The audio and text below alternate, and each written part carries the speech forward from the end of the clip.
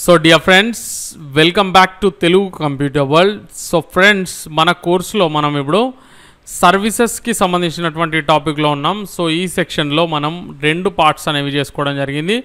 Services part one మనం ఇక్కడ మీరు చూస్తున్న విధంగా కంప్లీట్ చేసుకోవడం జరిగింది. దానికి సంబంధించిన సిఎస్ఎస్ని రాసుకున్నాం. అండ్ సర్వీసెస్ పార్ట్ టూకి సంబంధించిన హెచ్టిఎంఎల్ మార్కప్ అంతా కూడా రాసుకున్నాం. సో హెచ్టిఎంఎల్ మార్కప్ కంప్లీట్ చేసుకున్న తర్వాత మనం దీన్ని ఈ ట్యాబ్స్ని కంప్లీట్గా ఆర్గనైజ్ చేసుకోవడం కోసం ఒక ప్లగిన్ యూజ్ చేస్తామని చెప్పుకోవడం జరిగింది కదా? సో ఆ ప్లగిన్కి సంబంధించిన ఇన్ఫర్మేషన్ని నేను మీకు ఇప్పుడు ఇస్తాను. చూడండి మీరు ఇక్కడ చూస్తున్నటువంటి వెబ్సైట్ యూఆర్ఎల్ని ఓపెన్ చేసినట్లయితే మీకు ఈ విధంగా వస్తుంది. సో ఇది ఓపెన్ చేస్తే మీకు ఈ విధంగా వస్తుంది. అండ్ ఇక్కడ క్లోన్ ఆర్ డౌన్లోడ్ పైన క్లిక్ చేస్తే ఈ విధంగా వస్తుంది. సో డౌన్లోడ్ జిప్ పైన అనండి. ఐ మీన్ క్లిక్ చేయండి ఓకే సో ఈ విధంగా క్లిక్ చేస్తే మనకు ఒక జిప్ ఫైల్ అనేది డౌన్లోడ్ అవ్వడం జరుగుతుంది. సో షో ఇన్ ఫోల్డర్ అన్నాను. అండ్ ఇక్కడ రైట్ బటన్ క్లిక్ చేసి దీన్ని ఎక్స్ట్రాక్ట్ అనేది చేస్తున్నాను. ఎక్స్ట్రాక్ట్ అయిపోయింది.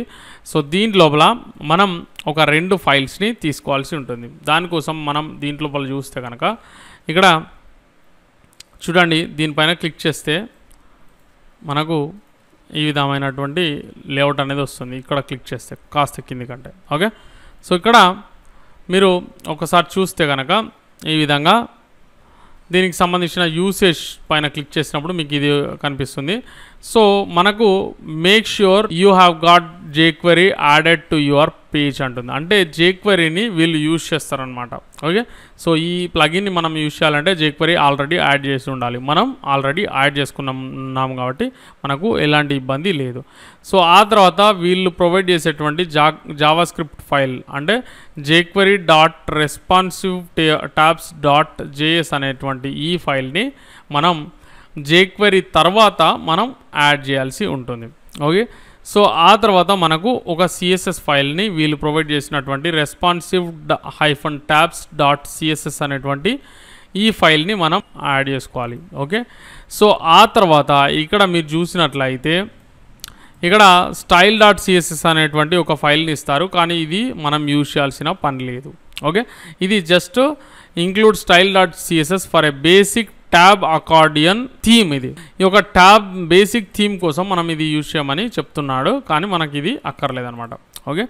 సో ఈ రెండు మాత్రం కంపల్సరీగా మనం యాడ్ చేయాల్సి ఉంటుంది. అండ్ ఆ తర్వాత ఇక్కడ మార్కప్కి వస్తే హెచ్టిఎంఎల్ మార్కప్ని మీరు గమనించినట్లయితే చూడండి ఒక డివ్ని తీసుకోవాలంటే ఒక పేరెంట్ డివ్ని తీసుకొని దానికి మనం ఏదో ఒక ఐడిని అసైన్ చేస్తాం. అదే ఐడితో ఇక్కడ మనం కాల్ చేయడం జరుగుతుంది. ఓకే సో ఇక్కడ రెస్పాన్సివ్ ట్యాబ్స్ డెమో అన్నాడు. ఇక్కడ కూడా డెమోతో ఇదే ఐడితో దాన్ని కాల్ చేయడం జరిగింది. అయితే మార్కప్ని మీరు చెక్ చేస్తే దీని లోపల మనకు ఇక్కడ అనార్డర్డ్ లిస్టులు ఉండాలి. దాని లోపల లిస్ట్ ఐటమ్స్ ఉండాలి. అండ్ వీటి యొక్క లింక్ ట్యాక్స్ని మీరు గమనించినట్లయితే దీంట్ లోపల ట్యాబ్ వన్ అనేది ఈ విధంగా ఉంటే కనుక ఇక్కడ మన ట్యాబ్లలో దాని ఐడి ఈ ట్యాబ్ వన్ ఉండాలి. అంటే దీనిపైన క్లిక్ చేసినప్పుడు దీన్ని అది ఆపరేట్ చేయడం జరుగుతుంది. అండ్ ట్యాబ్ టూకి tab two and top three top three and ఇక్కడ చూడండి ఐడి యూజ్ చేసినప్పుడు ఇక్కడ ఈ యొక్క హ్యాష్ అనేది యూజ్ చేయరు. అండ్ లింక్ లోపల మాత్రం హ్యాష్ అనేది యూజ్ చేయాల్సి ఉంటుంది. ఎందుకంటే ఆ ఐడిని కాల్ చేయడం కోసం ఇది ఐడి అని గుర్తు గుర్తించడం కోసం ఇది హ్యాష్ సైన్ని యూజ్ చేయడం జరుగుతుంది. ఓకే సో ఈ విధంగానే మనం మన మార్కప్ని ప్రిపేర్ చేసుకోవడం జరిగింది కాబట్టి మనం వరి అవ్వాల్సిన పని లేదు. సో ఇప్పుడు ఫస్ట్ ఆఫ్ ఆల్ మనం ఈ యొక్క JavaScript file and CSS ఫైల్స్ని యాడ్ చేసుకుందాం.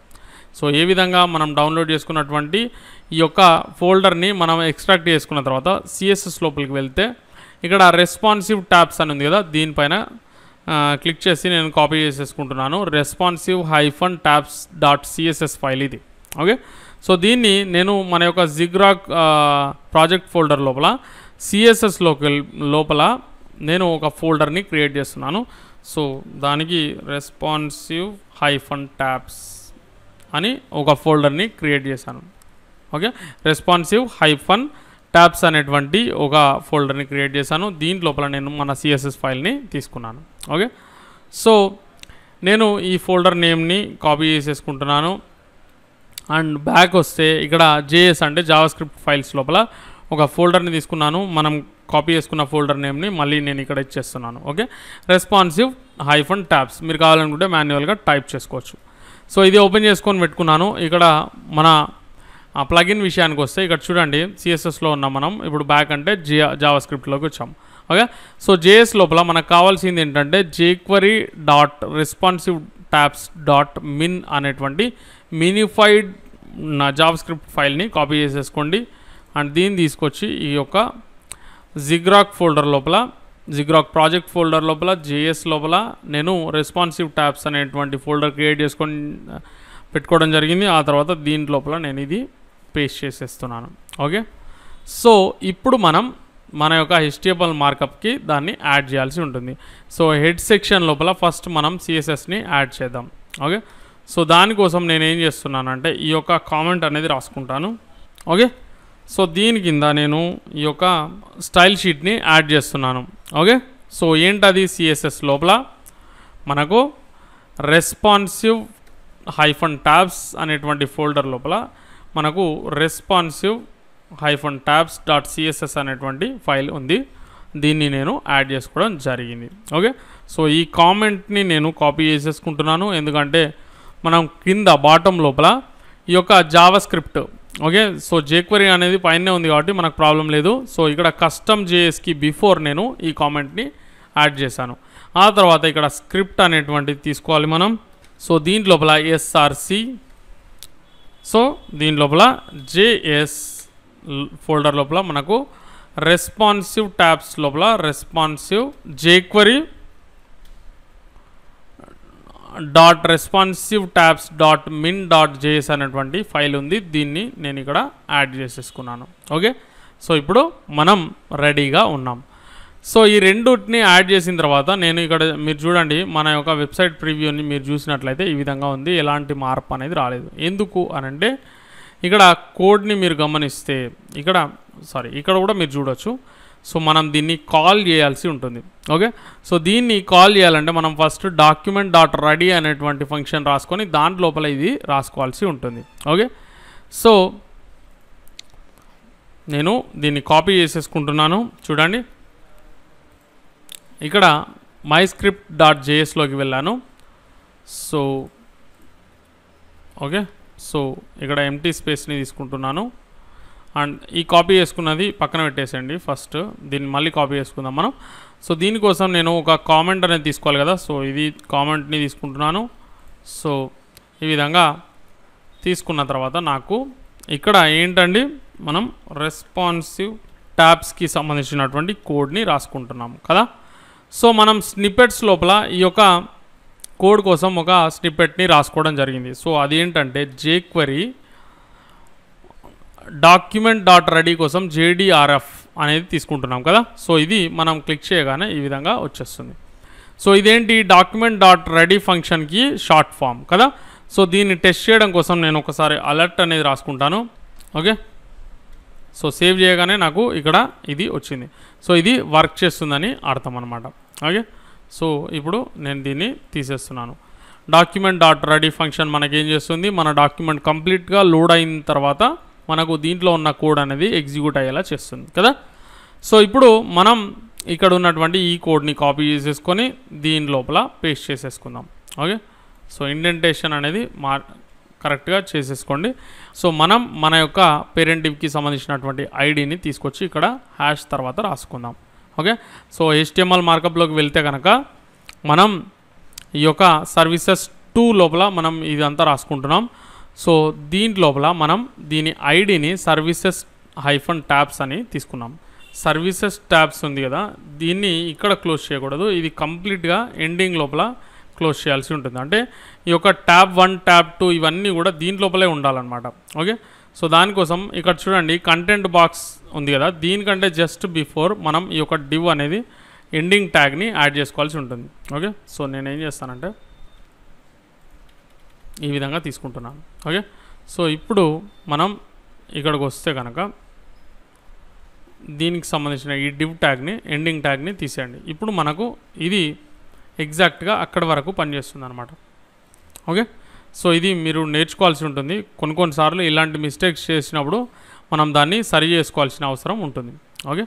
సో ఇదంతా కూడా నేను ఇండెంటేషన్ మారుస్తున్నాను. కాస్త సెట్ చేస్తున్నాను. ఓకే? సో ఇది వచ్చేసి దీని లోపల ఉండాలి. Okay? So yeah perfect. Okay? So ఇప్పుడు మనం గమనించినట్లయితే మన యొక్క పేరెంట్ డివ్ వచ్చేసి ఇదనమాట ఇప్పుడు మనం ఈ యొక్క జావా స్క్రిప్ట్ని కాల్ చేయడానికి ఐ మీన్ ఈ జెక్వరీ ప్లగిన్ని కాల్ చేయడం కోసం ఈ విధంగా రాసుకుంటాం. Okay? So services hyphen tabs అనేటువంటిది మన పేరెంట్ డివ్ దాంట్ లోపల నేను రెస్పాన్సివ్ ట్యాబ్స్ని ఈ విధంగా తీసుకుంటానని చెప్పినట్లు అవుతుంది. ఓకే? సో ఇది తీసేస్తున్నాను. ఇది అక్కర్లేదు మనకి. ఓకే? సో ఇప్పుడు మన యొక్క వెబ్సైట్ని ప్రివ్యూ చూస్తే కనుక మీకు ఈ విధంగా వచ్చేస్తుంది అనమాట చూడండి. ఇవన్నీ కూడా ట్యాబ్స్ అన్నీ కూడా ఇన్లైన్ అరేంజ్ చేయబడినవి.